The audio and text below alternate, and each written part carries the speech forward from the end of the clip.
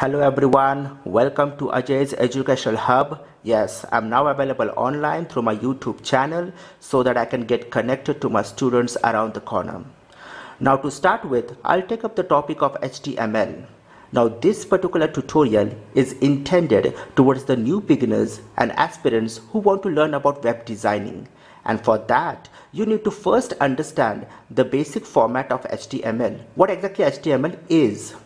So how to do it? Let's directly go to the computer and start doing it. So here we are.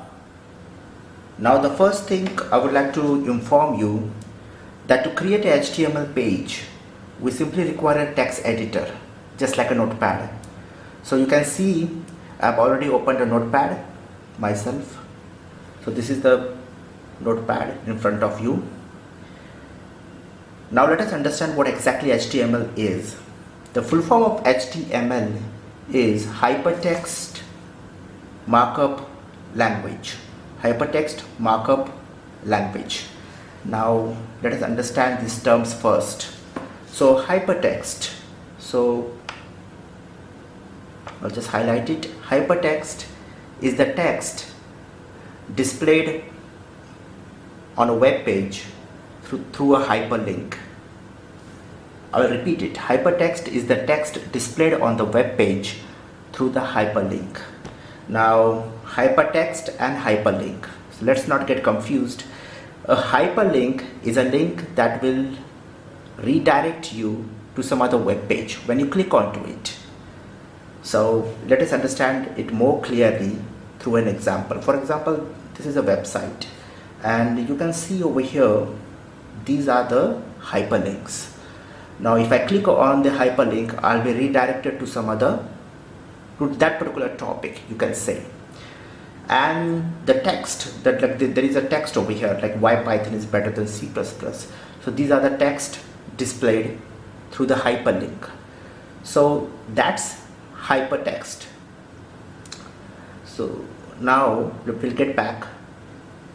So hypertext is a text displayed on a web page and when the user will click onto it will be redirected to that particular topic or that particular some other web page. Now comes the markup language. Markup language now is a kind of a small subset of a programming language.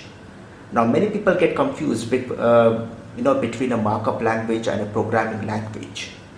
Uh, markup language can be simply can be defined as a, a very small subset of a programming language because both languages kind of give instructions to the computer. Even a markup language gives instruction to computers in form of tags. There are predefined tags which we are will be about to uh, go through it. We are going to learn about it. So a markup language is a small subset you can say of a programming language. So let us understand what are the tags. Now I'll just delete it and uh, I'll simply type the lesser than sign and the greater than sign. Now these are like the brackets. To you know to type a tag, to define a tag, you have to use this lesser than and greater than sign. You can call it as brackets for now and I have to simply type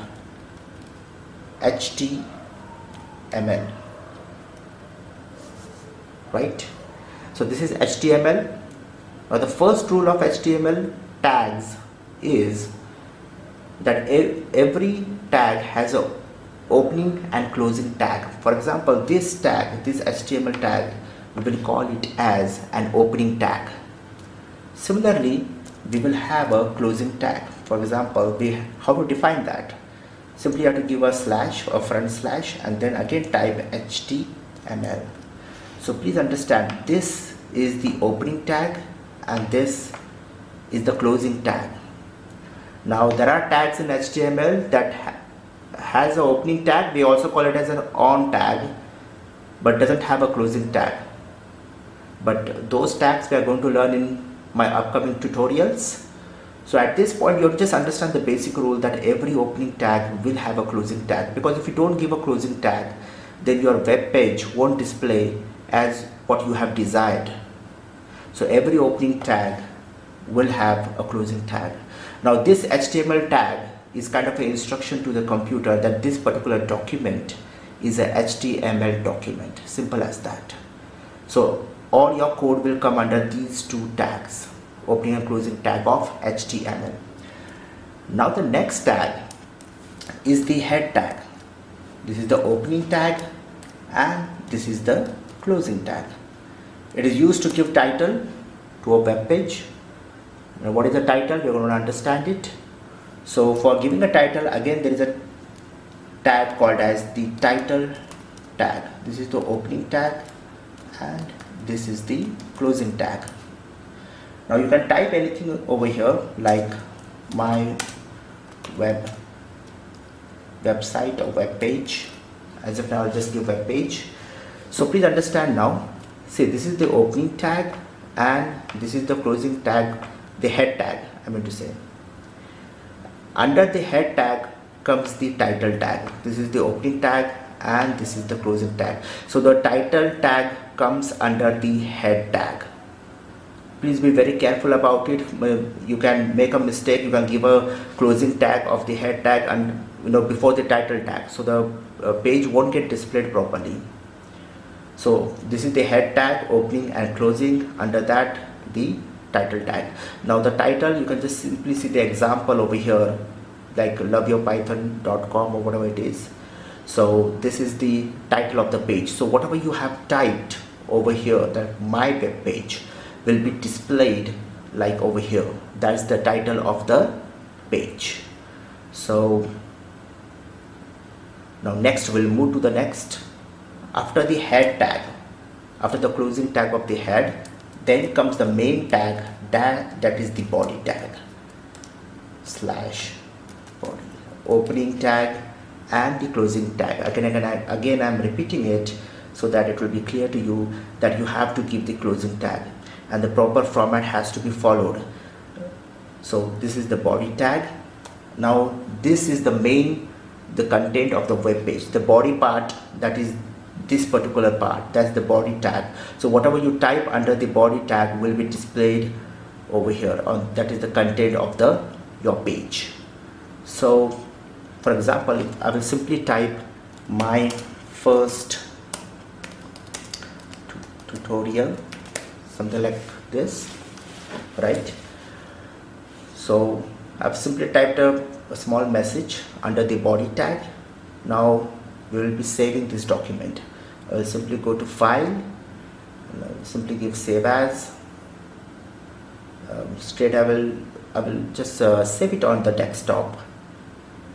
And give it as first tutorial or just first dot html now that's the extension you're supposed to use to save any HTML document. You can give HTML or just HTML both can work but I'll give it as a the I have a habit of giving as HTML so first that's the name of the document and with the extension dot HTML so we'll save it.